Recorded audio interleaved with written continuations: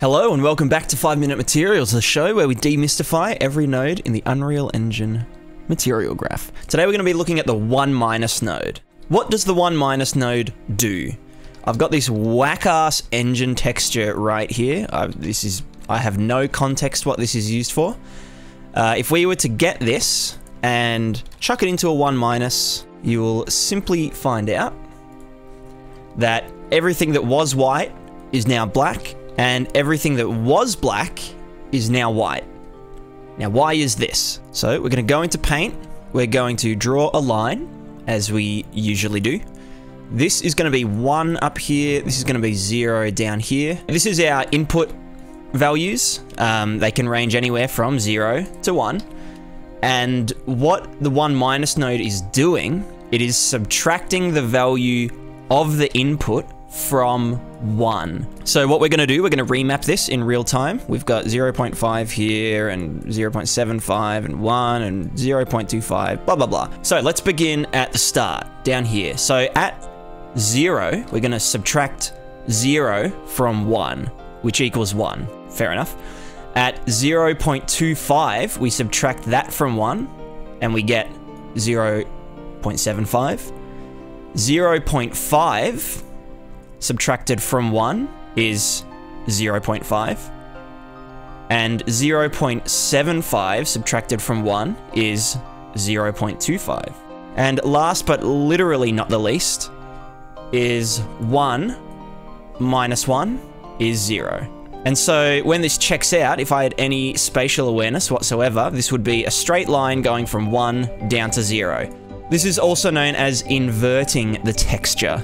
So in essence, what this node does is it remaps 0 to 1 and 1 to 0. So let's just say I was using this texture as a mask to offset some vertices. So what this little operation here is doing, it is offsetting based on the texture's value, the vertex normal by 20 units into the world displacement because I'm tessellating this cube. And if we have a look at that, you can see that all of the places where there is the white texture, it's it's jutting out, it's bumpy. Um, but maybe I wanted it to be the black parts that are jutting out and these to be in. Um, and so in that case, what I would do is go 1 minus, put that into the effect instead. And now all of a sudden, it's the black parts that are jutting out of the cube and the white parts remain normal.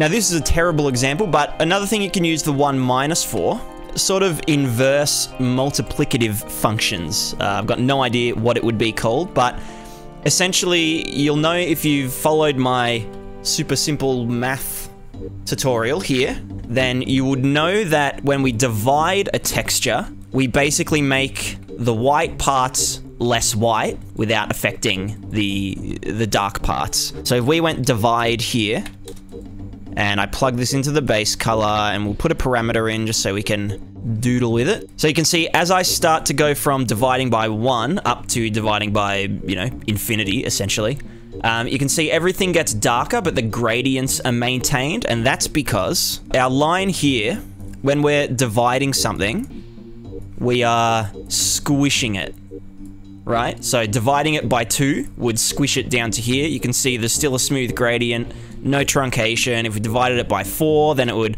go down here. If we were to subtract from it instead, what would end up happening is this, and this would all, you know, get truncated below 0. And so we'd get some harsh edges. That's all well and good, but what if we wanted to do the same thing to the black values of this texture rather than the white parts? We wanted to bring the black parts up without affecting that gradient. Now what we could do is first we could 1 minus, invert the texture, then divide it, and then 1 minus it again to bring it back to the, the white parts of the texture, black parts of the texture.